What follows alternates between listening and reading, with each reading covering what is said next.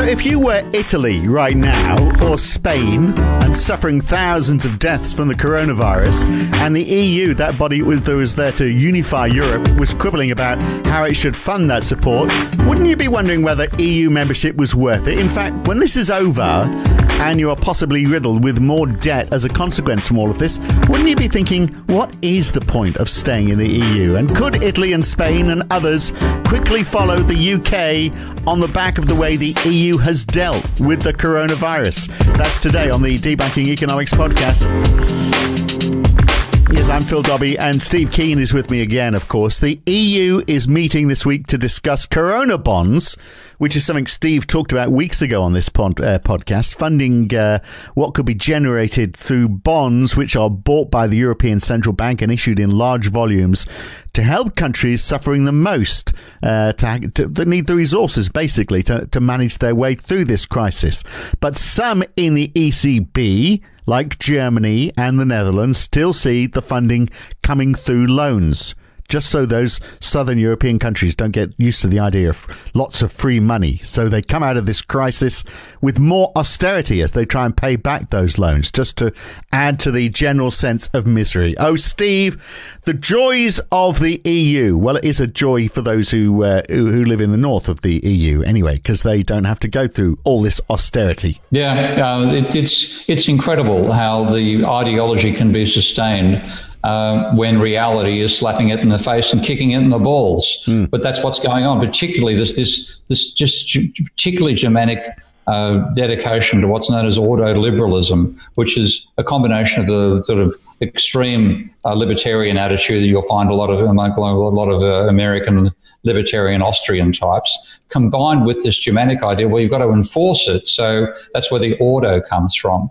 And they're hanging and say, we've got to get right back to austerity as soon as we finish this without thinking, well, if we didn't have austerity, maybe we'd have enough beds right now in the hospitals and enough intensive care units to be able to cope, yeah, which we but don't. Germany is covered, of course. I mean, they've got, I mean, it's very sad, but they've got uh, almost 2,000 deaths there in Germany. But compare that to Italy, where it's uh, over 17,000, almost 18,000 deaths. So, uh, yeah, I mean, uh, they're in a much better position. Uh, yeah, they've, they've got the capacity to some extent, but, but um, and, and again, having a decent public health system helps. They haven't destroyed that, whereas the Americans didn't have one to begin with, and yeah destroy what they've got. And, and they've so, got and they've got a government surplus, so if they need to spend more money, they can dip into it. They don't. That has no no relevance whatsoever. But yes, I'll let you get away with that well, one. no, I mean from from their point of view, I'm putting um, them in, in from, their, point of view. Their point of view, they'll be saying, "Yeah, we've got we've got the government money, we can spend it." Yeah, that's true. Well, that's that's the reasoning that they'll use, unfortunately. And Italy doesn't have that surplus, so people in the south aren't going to buy this. When when this is all done and dusted, once this is all over,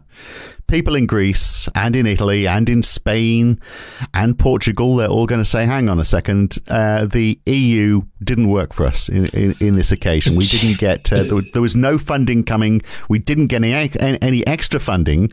You didn't help out. What, what are we getting for our membership? Particularly Italy, yeah, and, and in Spain too. I mean, that's the situation with them is absolutely appalling. So, um, I, and if they, it's when they, when they, when the Italians can rely upon the Cubans uh, and the Chinese more than they can upon their own neighbours, the whole idea of European solidarity ain't looking so crash hot. It's not solidarity. It's, it's, it's being locked into a death cult. And, and the euro is the big problem here, isn't it? Because we've got one central bank the, the one central bank issues the bonds. They determine how those bonds are, uh, if they are going to embark on quantitative easing. I mean, they could, if they wanted to, uh, if they if they change the regulations of the EU, which they have loosened now, there's nothing to stop the uh, Europeans agreeing that the, the central bank will issue a mass of new debt, new bonds, and that will go to funding the crisis in Italy. There's nothing at all to stop that happening. No, as you say, it's just ideology. Yeah, and it's also it's been set up in such a way that it can't make a decision unless it's a decision to improve austerity or increase austerity. Because again, uh, people, I remember when I when I was you know you remember I voted for uh, Britain leaving the EU. Uh, at the time, mm. I made the, the, arguments in favour of it, not from the point of view of what would benefit Britain, because I thought the EU was an organisation that shouldn't it shouldn't exist given its policies. Uh, somebody said, look, you can't say it's not democratic. Look at this democratic structure here. Well, the democratic structure I sent was, first of all, the European Commission, a bunch of economic dominated bureaucrats. They draft the laws, not the parliament. The parliament cannot independently draft the laws. Then uh, the law is sent to the parliament for ratification or objection. Uh, and as well as the, if the parliament votes against a law or uh, then it can also be voted for by the 19 finance ministers who meet independently and who have no records are kept at their meetings. And that's why Yanis Varoufakis' recent move to release all the recordings he made, I think is a brilliant move because it shows us how stupidly and badly they behave. So the whole thing is set up in such a way that whatever the commission wants to happen will happen. What everybody else wants to happen, you can get you can get well, I was going to use a word starting with F. Um, but it, it is stuffed. Let's go for stuffed. Stuffed. You're going to get stuffed. so consequently, there is there is no um, capacity to make a decision unless it's a decision which supports the directions of the Maastricht Treaty and makes it yeah. even more difficult to spend to create, government money and even more difficult to rescue people in, in the dire circumstances of the coronavirus. So this could be the death knell. I certainly, I, would like, what I'd like to see happen is Italy simply say, we've had enough. Uh, every bank account in Italy is now a, now a lira account. Uh, the new lira is worth one euro. Uh, we repudiate all our international debts, including those of German and French banks. You guys can get stuffed um, and we're starting our own monetary system again. Do you think that'll happen? I mean, Greece came so close to it, didn't they? I mean, Yanis was uh, was on the verge of uh, of pushing that button if he if he could, could, would have got support within his within his own government. Do you think uh, Italy will? And if Italy does, then obviously uh, Greece and Spain aren't going to be far behind. It's possible. I mean, Italy's got a appalling trajectory in terms of the number of deaths right now. So. Uh, mm. it, it, quite possibly, and you know, with the, with the leader being, being a populist, right wing populist as well, it's a possibility. And um, certainly, uh, we actually discussed in a previous podcast what would shift after this. Uh, you know, would people say we overreacted and so on? I think Italy is one country where people are going to say, right, this went really badly, really, really badly, and we've got to do something about it. And we're not taking uh, Belgian bullshit anymore.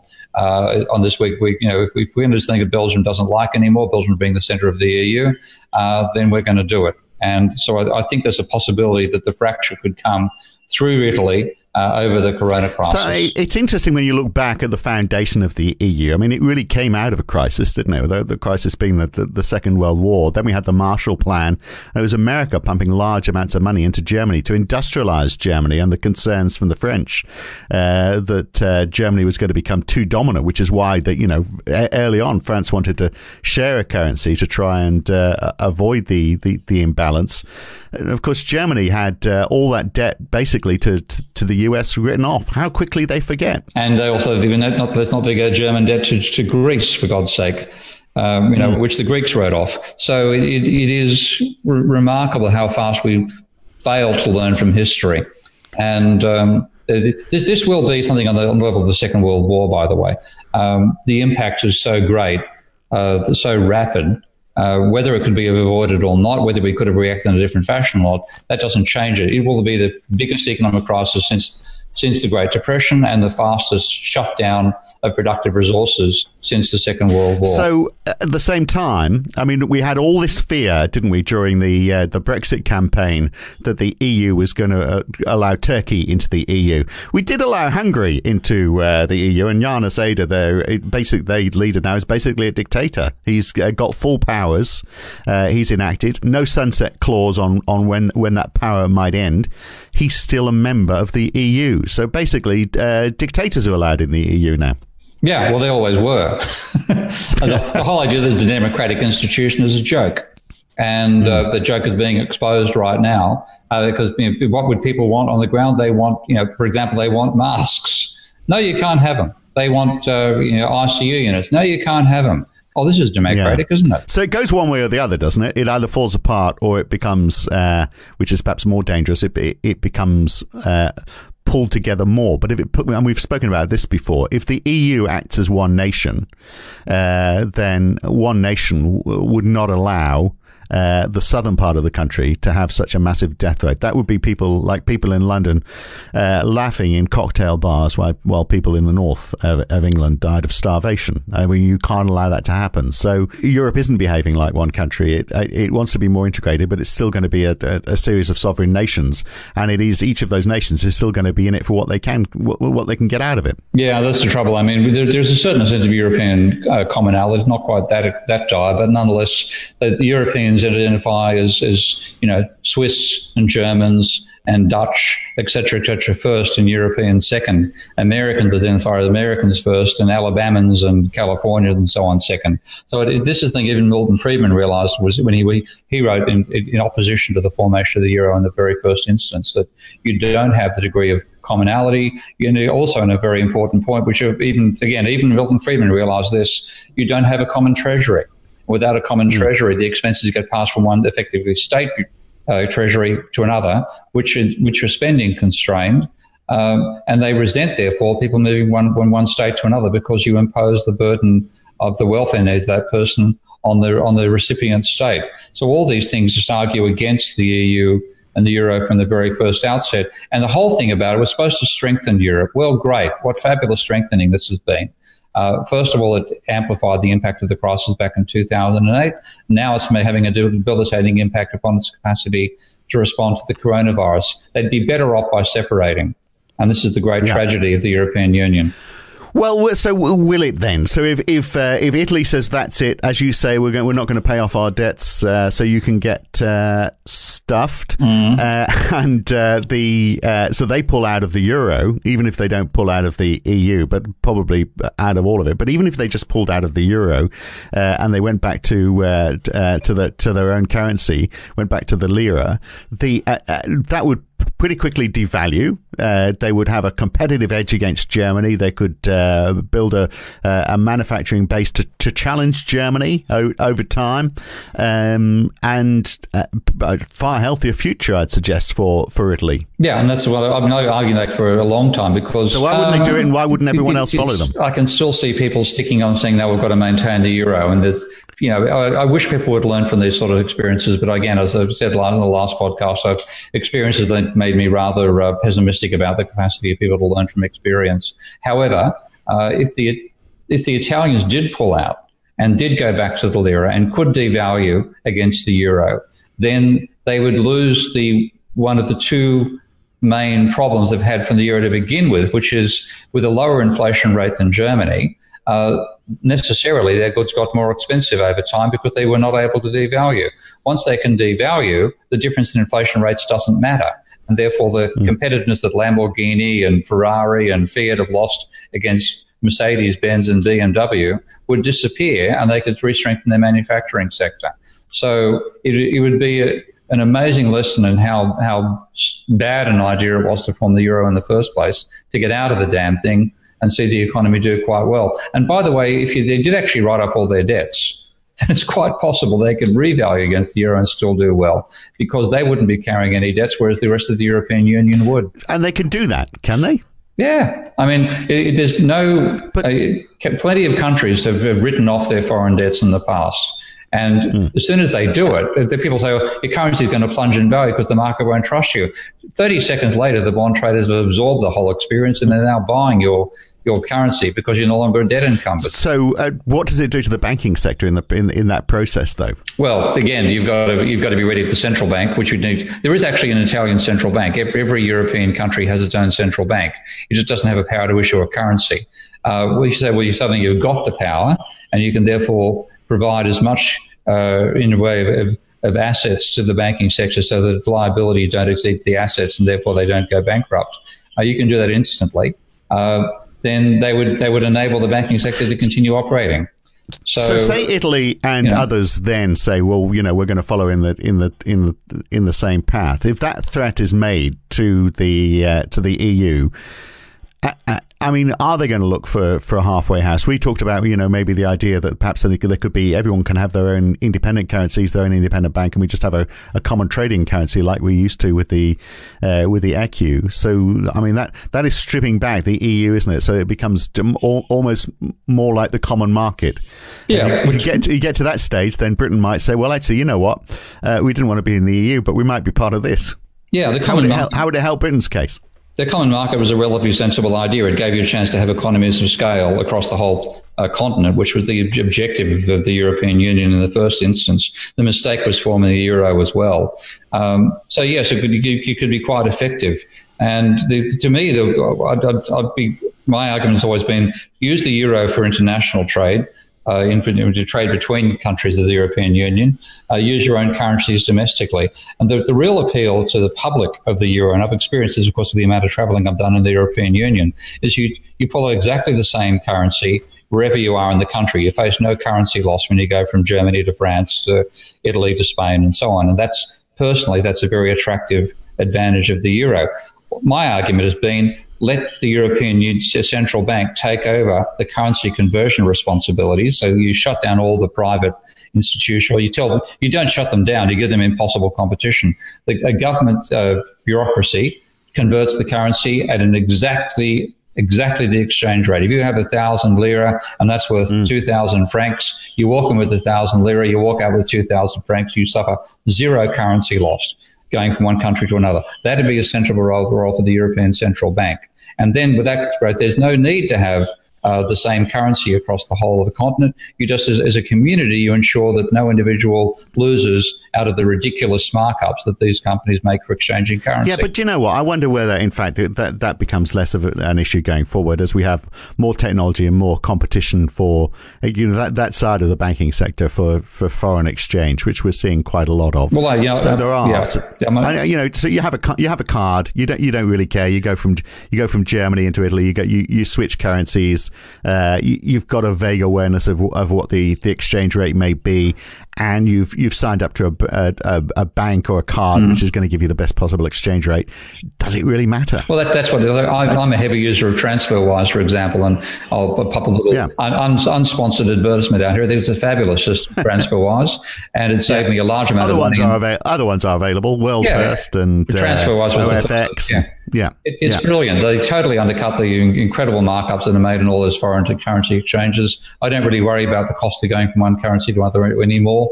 Uh, I use the same card everywhere. It's a great so idea. for them, so the idea of the euro being one unified currency to make it easy as you move around and as you trade. I'm just wondering whether that you know that that, that selling proposition is is rapidly disappearing. So you know one of the key reasons for the euro perhaps is is not such a key reason anymore which was a key reason back in 2000, obviously, or 1999, obviously. But but yeah, you're right. Now that that's technology and the fact that there's an enormous financial uh, incentive there for people to move into that particular space, that's a classic case of capitalism innovating to take advantage of a, of a, of a large discontinuity in the economy. So, if that was to happen, then if the euro did disappear, could the EU survive without it, and uh, and what form would that take? Do you think? Well, to go back to being a common market. That's mm. all it would need to be a common market, and you have a forum for coming over discussing to uh, resolve uh, disputes between states. And it should be one where the where the states have, uh, you know, you, you, have representatives of the Italian, the French, the German, etc. governments coming together just to have conversations, not not having the idea of a bloody parliament, which itself is a farce. The parliament, as I said beforehand, only decides to do what the European Commission tells it to do, and there's nothing like a democracy. It's been a, a the whole idea of the European Union from the ordinary Europeans' point of view was to end the old, you know, internecine warfares of the European uh, continent. But from the point of view of the bureaucrats, it was to get people out of the way and let the bureaucrats run everything, because obviously it was democracy that gave us fascism. I mean, give me a break. it also gave us Donald Trump. Uh, so you know, it, yeah, I'm not saying democracy is perfect by any stretch of it, and I, I, want to get I want to get rid of it and replace it with a set of skilled uh, individuals who don't want to do the job, who are system dynamic specialists and united by intelligent software that's what we really need to run the complex system of the world we're in these days, rather than you know the popularity contest of standard democracy. Right. Okay, and uh, are, are, you going to be are you going to be the head of that government as well? Are you? Are you oh, please, please, please. setting uh, which, I'm getting to be too old to have to answer the question. Uh, keen, uh, my arms in the air mm. as I talk to you. But yeah, I, I take. Your, I'm tickling your underarms. I'm loving it. So uh, I take your point though that you know we, we certainly need more skilled uh, people in, in, in, Parliament, and there's none of that. Let's let's let's, make, let's have a podcast on a particular issue: democracy versus versus uh, systemic governance. That's right. that's an important point to discuss at a later point. Gee, all right. So back to the EU, though. I mean, what we're describing then really is that uh, it's a common market. There has to be agreement on standards uh, there's no need to discuss uh, subsidies or, or well, well, maybe you still do so. Do you do governments then say, well, okay, we're going to have this common, common market. We need to make sure you're not subsidising your products and, and dumping products on our market uh, uh, because you've given so much state subsidy. I guess you still need regulations like that, don't you? So so that you've got a level playing field. Yeah, there's some sort of commonality. That's it's common market. Has to have common regulations. That's okay. Mm. It's the it's the imposition of uh, the you know, budgetary uh, noose of the uh, Maastricht Treaty and the inability of any decision to be reached that isn't something the European Commission wants. Uh, with having bureaucrats who are all trained, mainly trained economists, and that's the bloody problem. Yeah, that's the danger, isn't it? So trained, but, trained engineers being much damn, damn sight better.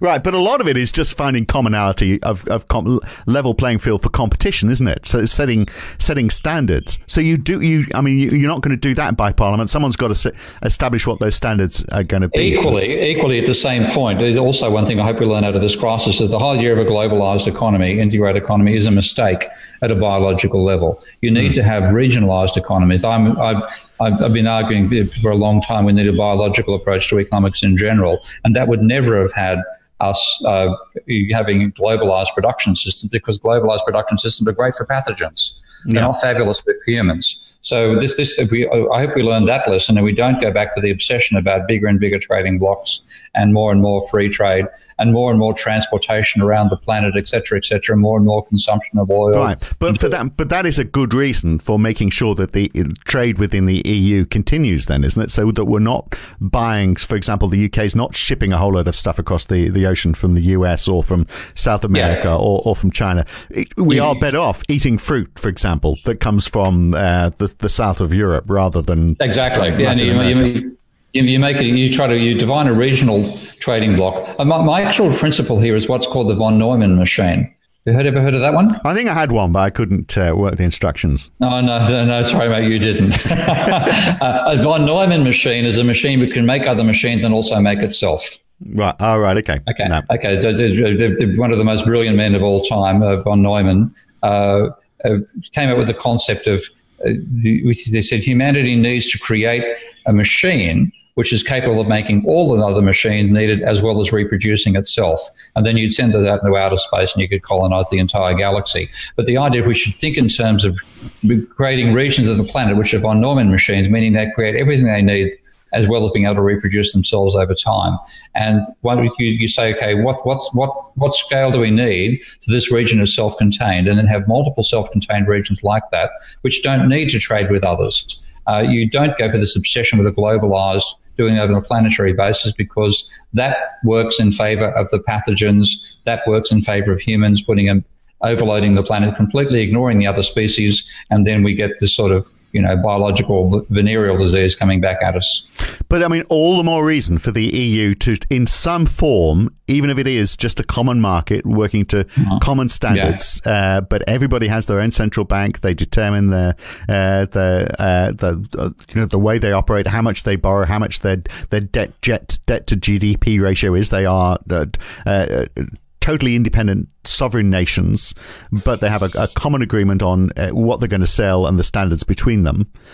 Uh, that's got to be the utopia, hasn't it, that we'd be wanting? Because it, it does create that trading block that the EU could then say, well, look, we really don't need anyone else. Well, that's the, the trouble. To reach that utopia, you've had to go through a dystopia to experience why it's necessary. But yes, uh, treating it as a, as a regional production system, uh, intending to re- achieve overall self sufficiency across all the products that are necessary to sustain a decent high, uh, human society and a decent environment not just for ourselves, but for the other species on the planet. That's the that's the way we should be thinking in the future. Do you think that's going to happen though? Uh, will the EU survive, and will it will it just survive the way it is? I mean, uh, could, for example, Italy say, well, we want out of the euro, but we'll stay in the EU, to which the, the payoff would be, well, okay, you can't write off all your debt. You're going to have to pay it up back, back after, uh, off over, over 20 years. You're going to have to live in austerity and, mm. uh, and perhaps more people, even more people will die uh, from uh, malnutrition and die from the, from the virus as you attempt to pay all this back.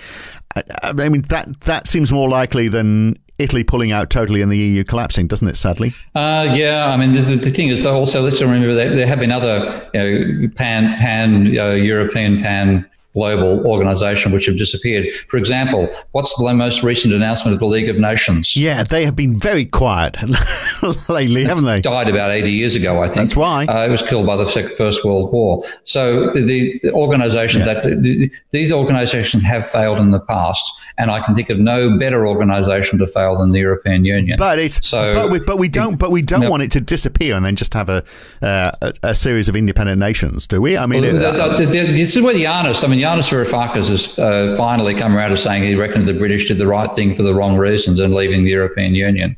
And it, it may be that, that you know, you, it's very hard to expect somebody to, to, to whose, whose entire life has been around trying to globalize everything and trying to minimize trade barriers, et cetera, et cetera, and, and go for, uh, you know, uh, letting competition rip and, and, and ignoring uh, sustainability while pushing efficiency. It's very hard to have that person suddenly flip over to a biological way of thinking. You've simply got the wrong people in there, and getting rid of them is is, is impossible uh, in, a, in, a, bureaucracy. So it may be that it has to fail to be replaced by something more sensible. Right. I wonder what would uh, replace it. Could we, in fact, get a, a, group of countries like, for perhaps France, maybe we'll include Germany, the, the UK and Ireland, uh, uh, and Spain and Greece, saying, well, okay, let's it, that's all falling apart, but we need to trade with each other because we've got so much trade across our, our, across our borders. So let's at least agree some standards and let's form the new the new EU. That could, that could be what happens. I think it's. Uh, and, and, and the emphasis has to be on the ecological and uh, social sustainability of the society, not this obsession with competition and efficiency. So it, it, could happen, but I certainly can't see the bureaucrats in Brussels being the ones who lead the charge. And how quickly is it going to fall apart then, do you reckon? Is it is, is that going to be after this, after we're over this virus, second half of this year? Is this going to be the big story? Um, no, I, again, because of my, my cynicism about people's capacity to learn from experience, I think we'll go through this. Will be an aftermath. There'll be a, oh, let's see, we, we can continue on, and then something else will hit us. I mean, with 2020 has been a one, one dog of a year. I mean, we had the you know the fires in Sydney, the uh, then the floods, flood, fires in Australia, then the floods in Australia, then the locust plagues in Africa, which we've stopped talking about, but are probably still happening. Now the coronavirus. Uh, we're still we're only we're only one third of the way into the year. What the hell's going to come along next? Well, we've got a lot more of this to go, haven't we? I think this is going to keep us going for the rest of the year. But I mean, just the idea that this will be almost swept under the carpet and it's going to take something else to, to split up the EU. I wonder if that's the case because look, over seventeen thousand uh, deaths now in, in Italy, less than two thousand in Germany. Uh, uh, 14,000 in Spain. There's, there's just a, a, huge difference, a huge disparity uh, between nations. And mm. surely people are going to be looking at that and saying, how did we allow, allow this to happen? I mean, we're talking about the price on human life.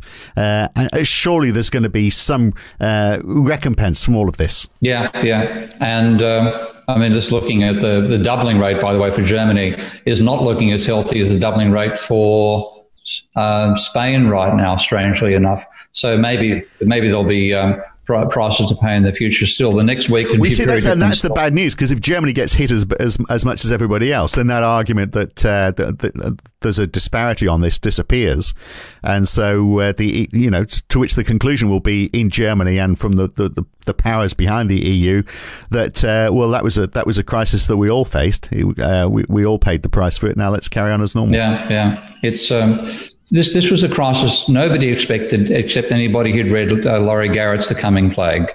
And these are people who've been completely sidelined in the redesign of society. These are the epidemiologists, uh, the, the, the specialists in humans as a biological species, not humans as the dominant economic force on the planet. They're the ones who saw this coming. They've been sidelined. The one thing I hope to happen out of this is that we suddenly stop pay, pay much less attention to bloody economists and a damn sight more to epidemiologists, engineers, physicists, and atmospheric scientists. They're the people we need to listen to, not bloody economists. And the EU was built by economists. That's one of the best reasons to get rid of it. We should leave it there. But one final question is I mean, a lot of it does relate to the acceptance of debt, doesn't it? That's the core of all of this. So, uh, German debt to GDP, you know, what is it, 60 or 70% government debt versus, you know, 200% in Japan. The US is shooting up there as well. Uh, Greece, I think, is, you know, is less than, than 200%. Italy is, you know, relatively low.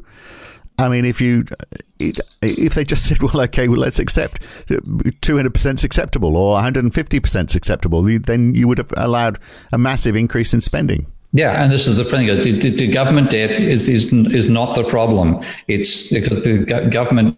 This is the, we've had many talks on this issue in terms of uh, the financial issues as well. Uh, but the whole obsession with government debt has always been wrong. It's always come out of neoclassical economics and uh, applying a household analogy to an overall economy. It's the private debt that matters. That's what's caused all the dilemmas. That's what has led to the boom beforehand and the bust as well.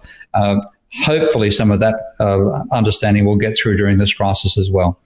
Right. So if the EU survived, but they accepted that point, could it could it survive and do good rather than uh, be evil? If it if it accepted the fact that we should allow countries to run much heavier debt. Um, Potentially, but again, the, that, that means countries which have divergent inflation rates can't. The, the, euro, the, euro, the euro should not survive. That's the one thing. The euro mm. should not survive. The European Union potentially could survive uh, should survive if it if it learns from this crisis and fundamentally changes its direction. But that's like expecting a Ptolemaic astronomer to suddenly understand Copernicus and stop drawing epicycles and start thinking about ellipses uh, centered on the sun. It is it is it, people's minds are, are reshaped by the belief systems they have, and that reshaping means they're simply incapable of their neurons are wired the wrong way. It, it, it is it is not possible for someone to to change their neuronal wiring as fast as it is for a new person to come along with a you know a fairly open neural network and, and relearn these issues. So in many ways, we just got to retire the people who currently run the European Union. If we could keep the buildings and send the people off to retirement homes, we might get somewhere. Generational change is what you're talking about, isn't it? And uh, mm-hmm. they're all looking pretty old. Time to shuffle on uh, and do your next thing. Uh, good to talk, Steve. Catch you again very soon. Okay, mate. Bye. And talking about neoclassic economics, uh, we are going to look at Adam Smith next time. Is there anything good that came out of Adam Smith's work? Anything that we can take and say, oh, that was all right. Uh, we'll look at that next time on the Debunking Economics podcast with Professor Steve Keen. I'm Phil Dobbie. See you then.